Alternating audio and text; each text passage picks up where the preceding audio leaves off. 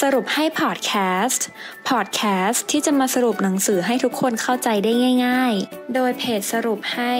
เพราะเราตั้งใจทำให้ง่าย สวัสดีค่ะ ยินดีต้อนรับเข้าสู่สรุปให้พอดแคสต์นะคะสำหรับพอดแคสต์ในตอนนี้มินจะมาสรุปหนังสือที่ชื่อว่า Factfulness จริง ๆ แล้วโลกดีขึ้นทุกวัน ฝุ่นเยอะไวรัสเพียบ คนเดินใส่หน้ากากให้เต็มไปหมด โลกใบนี้มันแย่ลงทุกวัน มันเป็นอย่างนั้นจริง ๆหรอ หนังสือเล่มนี้นะคะ เป็นตัวแทนของผู้ชายคนหนึ่ง ที่เกือบตายเพราะสื่อสารกับคนในท้องถิ่นไม่รู้เรื่อง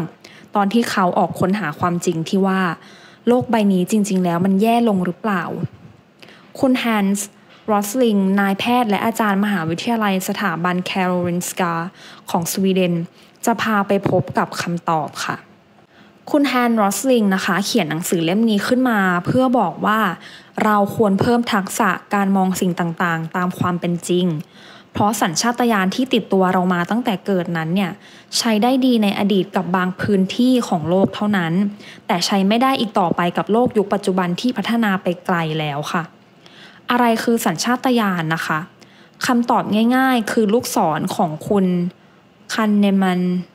ที่ชื่อ Muller Lyer Illusion นะคะ จะมีอยู่ 3 เส้นด้วยกันค่ะ เส้นน้ำเงิน เส้นน้ำเงินเข้ม A B C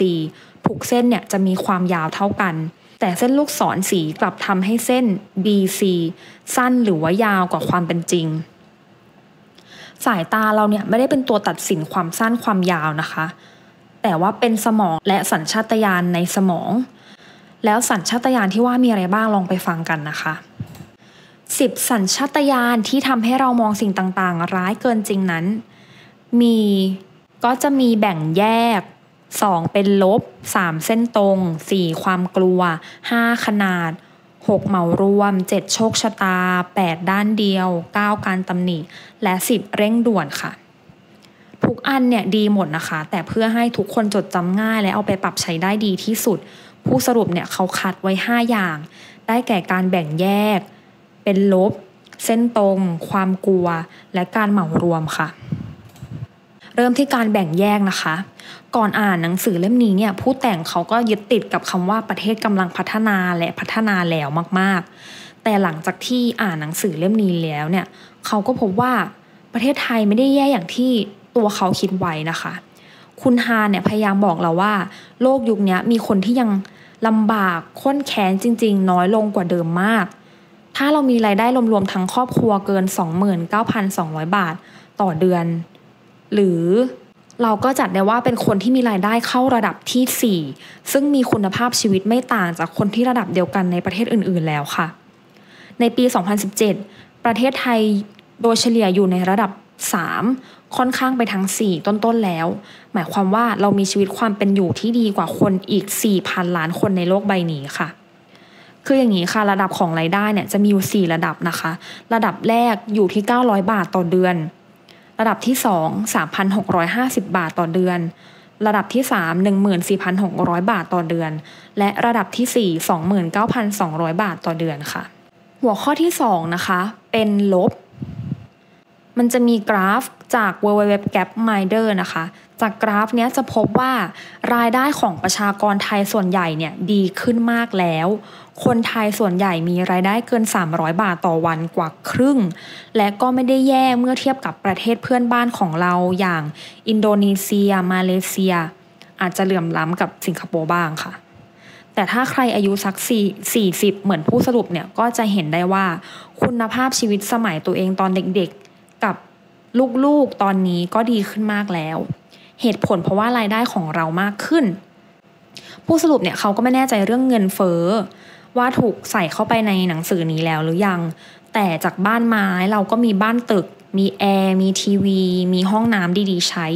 มีคอมพิวเตอร์ มีโทรศัพท์มือถือกันแทบทุกคน ซึ่งสมัยก่อนไม่ใช่แบบนี้ค่ะ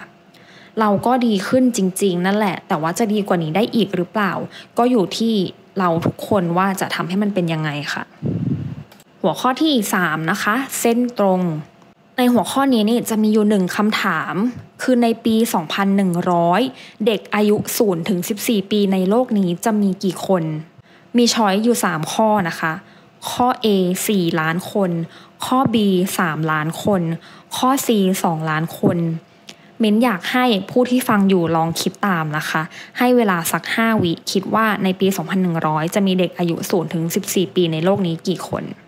คำถามที่อยู่บนภาพนี้นะคะ ผู้เชี่ยวชาญด้านเศรษฐกิจโลกตอบถูกเพียงแค่ 26%และประชาชนทั่วไปตอบถูกเพียง 15%คำตอบที่ถูกต้องเนี่ยคือ 2 ล้านคน ซึ่งเป็นชอยที่น้อยที่สุดในชอยนะคะ สัญชาตญาณเส้นตรงนั้นเนี่ยคือเรามักจะรู้สึกว่า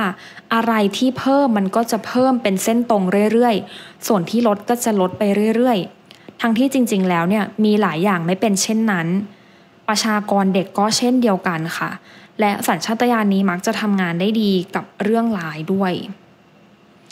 สรุปของข้อนี้คือแนวโน้มของทุกสิ่งไม่ได้เป็นเส้นตรงได้เพียงอย่างเดียว มันสามารถขึ้นก็ได้หรือว่าลงก็ได้ ข้อที่ 4 ความกลัวค่ะ ผู้สรุปเนี่ยเขายอมรับว่าช่วงที่บ้านเขามีทั้งฝุ่น และข่าวไวรัสระบาดเขาแทบไม่อยากพาลูกๆ ไปอยู่ในที่ที่เสี่ยงเลย คุณฮานเนี่ยแต่ว่าคุณฮานเนี่ยได้เขียนถึงเรื่องนี้ไว้อย่างน่าสนใจว่า ข่าวส่วนใหญ่เนี่ยไม่ได้ผิดนะคะ แค่เรื่องดีๆเนี่ยแค่เรื่องดีๆเนี่ยมันมักเข้าถึงหูคนเราได้ยากกว่าข่าวร้ายและข่าวน่ากังวล ในปี 2016 นะคะ มีเที่ยวบินกว่า 40 ล้านเที่ยวบินที่เดินทางอย่างปลอดภัย และมีเพียง 10 เที่ยวบินที่ประสบอุบัติเหตุถึงขั้นลูกเรือเสียชีวิต แต่ถ้าคิดเป็นตัวเลขทางสถิติแล้วนะคะ คือร้อยละ 0.00025 ของเที่ยวบินทั้งหมดยิ่งถ้าเทียบกับจำนวนอุบัติเหตุในช่วงปี 1929 ถึง 1933 แล้วเนี่ย อัตราการเสียชีวิตดีขึ้นถึง 2,100 เท่านะคะ คุณฮันส์แนะนำว่าให้พยายามแยกระหว่างสิ่งที่น่ากลัว มันคือสิ่งที่เรารับรู้กับสิ่งที่อันตราย หรือว่าสิ่งที่เกิดขึ้นจริง โดยพิจารณาความเสี่ยงอันตรายจากอันตรายและโอกาสที่จะถึงตัวค่ะ และข้อสุดท้ายนะคะ การเหมาร่วม ครั้งหนึ่งที่คุณฮานพานักศึกษาสวีเดนไปเรียนรู้งานที่โรงพยาบาลเอกชนทันสมัยของอินเดียในรัฐเกละ นักศึกษาที่มาสายคนหนึ่งเนี่ยรีบวิ่งเข้าลิฟท์ที่กำลังจะปิด เธอตัดสินใจแหย่ขาเข้าไปในลิฟต์ปรากฏว่าลิฟต์นั้นหนีบขาของเธอและยกตัวขึ้นไปอีกชั้น จนขาของเธอชนกับเพดานชั้นล่าง คุณหมอประจำโรงพยาบาลต้องรีบกดหยุดฉุกเฉิน และคนที่อยู่ในลิฟต์ช่วยกันถ่างประตูลิฟต์ออก จนขาของนักศึกษาคนนั้นหลุดออกจากลิฟต์ได้นะคะ ลิฟต์ในอินเดียเนี่ยไม่มีฟังก์ชันป้องกันการถูกหนีบอัตโนมัติ และไม่ใช่ทุกประเทศจะมีฟังก์ชันนี้ แต่ว่าบ้านเราส่วนใหญ่มีค่ะ และนี่คือตัวอย่างง่ายๆของการเหมารวม อีกตัวอย่างก็คือ สมมุติว่าคุณเป็นชาติเป็นต่างชาตินะคะ แล้วคุณคิดว่าเพื่อนชาวไทยชอบทานเผ็ด คุณก็จะเหมารวมว่าคนไทยทุกคนทานเผ็ดเหมือนกัน สิ่งนี้เป็นสิ่งที่เรามักจะทำ โดยไม่รู้ตัวนะคะ เรามักจะเหมารวมว่า ถ้าเราเห็นสิ่งนี้แสดงว่าคนทุกคนก็น่าจะเป็นสิ่งนี้เหมือนกัน จบไปแล้วนะคะสำหรับ Factfulness จริง ๆ แล้วโลกดีขึ้นทุกวัน หวังว่าทุกคนจะได้ประโยชน์จากพอดแคสต์ในตอนนี้ พบกันตอนหน้า สวัสดีค่ะ ติดตามสรุปให้ได้ที่ Facebook, YouTube และ b ล็อกดิค่ะ เพราะเราตั้งใจทำให้ง่าย